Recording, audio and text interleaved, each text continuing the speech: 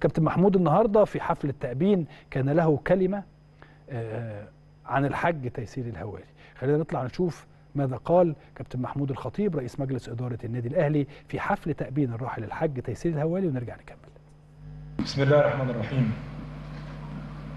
آه، أحيانا بيبقى الإنسان آه، عاجز عن إن هو يفكر إزاي يتكلم أو يفكر يطلع كلمات.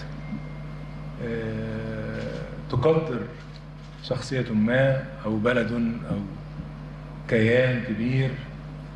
النهارده الحقيقة يمكن من اللحظات اللي حزنتني أنا جدا إن حصل الوفاة وأنا كنت في رحلة علاج في فرنسا وللأسف بلغوني في الأول إن مفيش آه، عزاء. عشان كده ما حجزتش وبعدين فوجئت بعد كام ان الع- العزاء في نفس اليوم بالليل.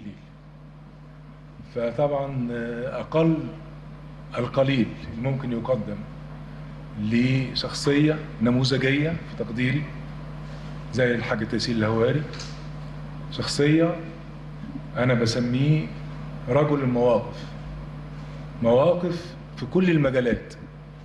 مش مواقف بس عشان بيحب النادي الأهلي. لا مواقف أخرى إنسانية مع ناس كتير جدا جدا حاضرين ومش موجودين معانا. صاحب صاحبه باللغة اللي إحنا بنتكلم بيها لأنه لما يكون في أي واحد في النادي الأهلي أو ينتمي للنادي الأهلي أو مسؤول أو حتى من الجمهور وهو يعلم أو عرف ما بينامش. علشان لازم يقدم حلول ويقدم رؤية ويقدم فكرة لصاحب المشكلة أو صاحب الحدث ده. ده تيسير الهواري اللي هو الحقيقة يعني أعطى كتير جدا جدا بقول نموذج عمره في ما فكر مرة يطلع في صورة ولا يطلع في حديث ولا يقول أنا عملت أو أنا قدمت أو أنا ساعدت. عمرها ما حصلت. تيسير الهواري مواقف إنسانية زي ما قلت مواقف آه مالية ما أحبش أتكلم عليها مواقف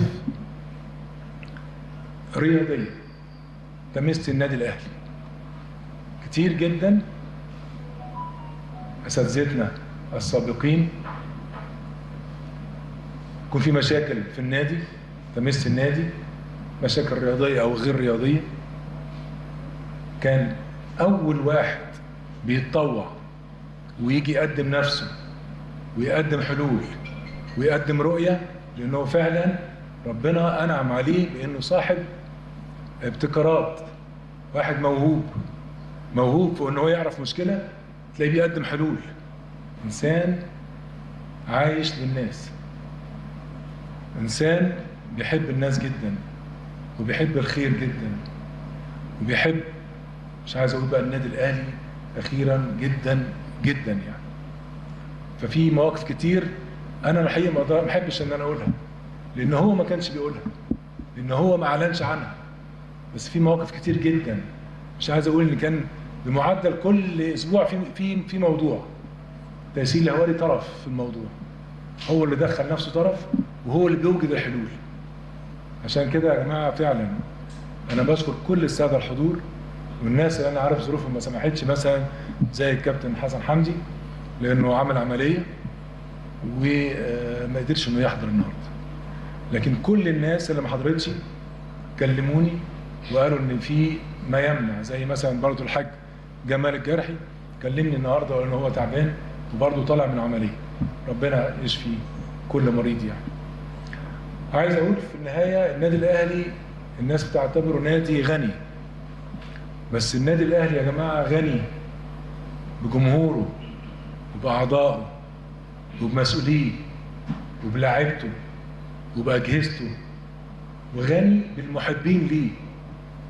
المحبين ليه إن هم مش عايزين حاجة غير إن هو مصلحة الكيان ده.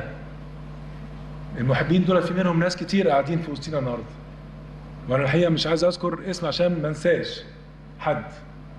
بس فعلا أنا من برضه من هذا المنطلق وفي يوم زي ده أحب أشكرهم كلهم. كل واحد يجي مثلا انتخابات. ممكن أي حد يحب يخش انتخابات. كل واحد ما بيفكرش في نفسه. فكر الأهلي ده إزاي يمشي صح؟ ويمشي صح بمين؟ وهم اللي يتولوا إزاي يقنعوا الباقي الكل مش مجلس اداره اللي داخل. هم دول دول ولاد النادي الأهلي. عشان كده النادي الأهلي غني.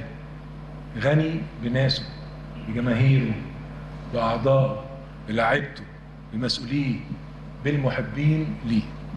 أنا مش عايز أطول في كلام بس أنا فعلا من الأيام على قد ما فيها من الحزن على قد ما فيها من السعادة الداخلية إن أشوف حشد بالشكل ده كل الناس موجودة في ذكرى رحيل يعني إنسان عزيز جدا مش علينا إحنا كأشخاص وعلى النادي الأهلي كمان.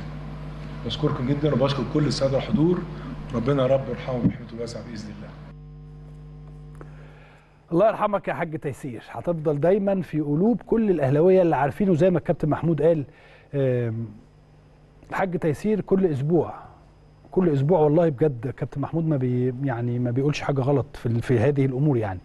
فكل أسبوع بيبقى في حاجة بيعملها الحاج تيسير وقد تكون بس لا يمكن الكلام عنها لأنها هو نفسه ما اتكلمش عنها فما نقدرش إحنا كمان نتكلم عنها.